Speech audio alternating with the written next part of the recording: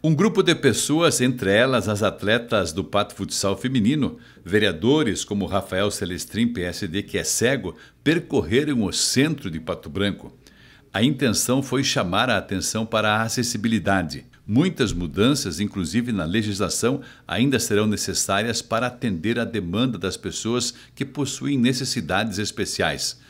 Outro motivo da caminhada foi chamar a atenção para a audiência pública, que será realizada nos próximos dias aqui em Pato Branco.